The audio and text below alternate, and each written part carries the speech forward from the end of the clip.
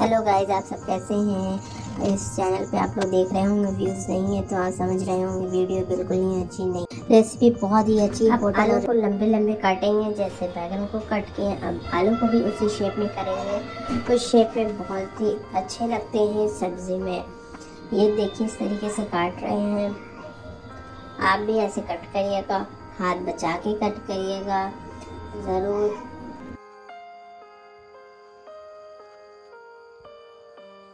वो हमारा आलू भी सारा कट हो चुका है। अब चढ़ाएँगे, कढ़ाई चढ़ाएँगे, कढ़ाई में राई का तेल डालेंगे, उसको होने देंगे। ये देखिए अच्छा गर्म हो जाएगा। फिर हम इसमें बैगन ऐड करेंगे जो काटे थे। इसको ऐसे करने से ना बैगन में बहुत ही अच्छा टेस्ट आता है। सब्ज़ी में बहुत ही अच्छी बनती है। इसको हम अच्छे फ्राई करेंगे इस तरीके से। इसको तेज़ कर लेंगे चूल्हे को। इस तरीके करने से ना, फ्राई करने से बहुत ही ज़बरदस्त सब्ज़ी बनती है? ये आप देख रहे हैं जैसे हम कर रहे हैं।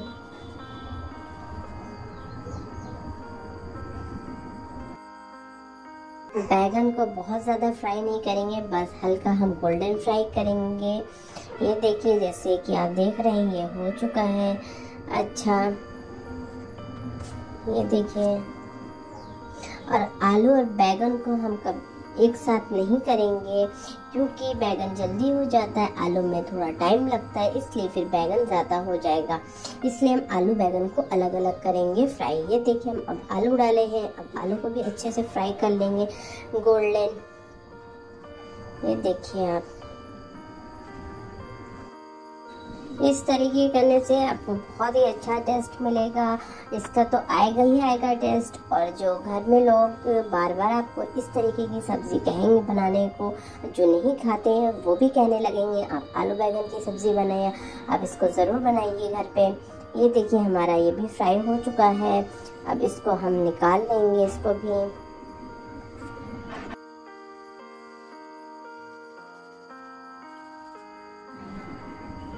ये देखिए, अब इसको भी हम निकाल लेते हैं, जैसे कि ये देखिए, निकल गया है। फिर इसी कढ़ाई में हम दो, एक चम्मच ज़ीरा डालेंगे और फिर दो तेज पत्ता डालेंगे। ये देखिए, फिर हम अदरक लहसुन का पेस्ट डालेंगे।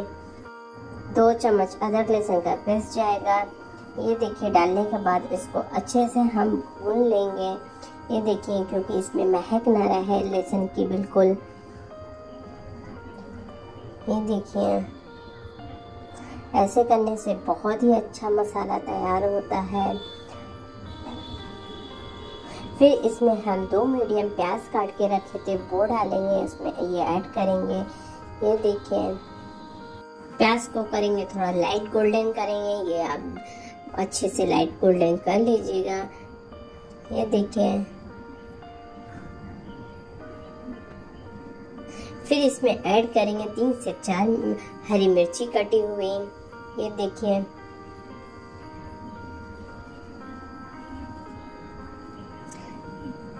फिर इसमें हम डालेंगे दो चम्मच कश्मीरी लाल मिर्च डालेंगे।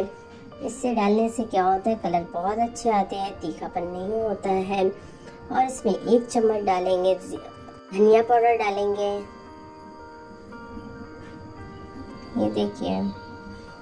और थोड़ी सी हल्दी डालेंगे कलर के लिए। हल्दी डालने से कलर बहुत ही अच्छा आता है। ये सब डाल के इसको अच्छे से भून लेंगे। मसाले में बहुत ही अच्छी खुशबू आ रही है। अभी इसमें ऐड करेंगे टमाटर। दो पीसा हुआ। ये देखिए, इसको डाल के अच्छे से मिक्स कर लीजिए। ये देखिए, बहुत ही ज़बरदस्त खुशबू आ रही है। बहुत ही पूरे घर में गूंज जाएगी इसकी महक। वो लोग पूछेंगे, क्या बन रहा है? ये देखें हम एक इसमें अब दो चम्मच ऐड करेंगे नमक। इसी स्टेज पे करेंगे फिर इसको डाल के अच्छे से मिक्स कर लेंगे। और इसमें बहुत ही लाजवाब खुशबू आ रही है। अब इसमें हम थोड़ा से लगा देंगे ढक्कन। देखिए, मसाला बहुत ही अच्छा भून जाए और ये देखिए, दो मिनट हो चुका है हमारा ढक्कन हटा के, फिर से हम चला लेंगे इसमें। ये देखिए।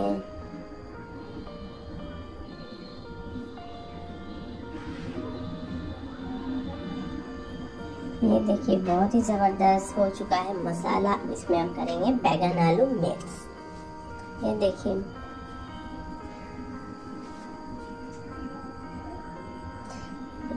देख रहे होंगे कितना ज़बरदस्त कलर आया है और जितना दिख रहा उससे ज़बरदस्त है। खाने में खुशबू बहुत ही लाजवाब आ रही है।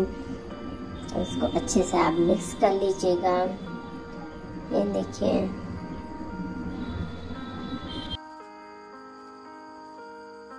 अब इसमें हम डालेंगे लास्ट स्टेज पे दो खड़ी लाल मिर्च डालेंगे।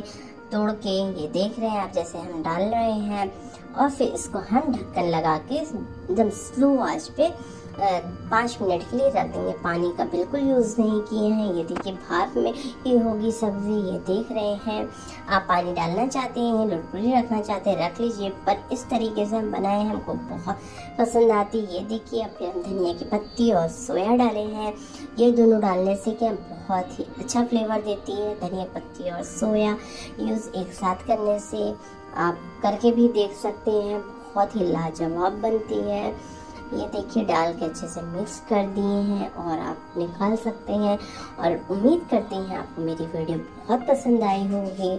और ये आलू बैगन की चटकारे वाली सब्ज़ी आपको बनाना ही नहीं बिल्कुल बनाना दौड़ता है। बहुत ही ज़बरदस्त बन, बनेगी और इसको आप बार बार बनाएँगे और देख रहे लाजवाब बनी है। आप इस चैनल पे नए हैं तो इसको बिल्कुल सब्सक्राइब करना ना भूलें। इस चैनल को लाइक करिए, शेयर करिए, ज़्यादा से ज़्यादा सब्सक्राइब करिए और फिर मिलते हैं नई रेसिपी के साथ। तब तक के लिए अल्लाह हाफिज़।